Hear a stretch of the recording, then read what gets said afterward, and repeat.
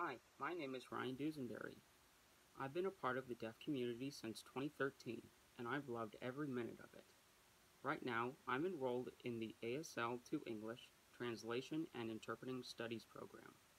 I look forward to working with each and every one of you.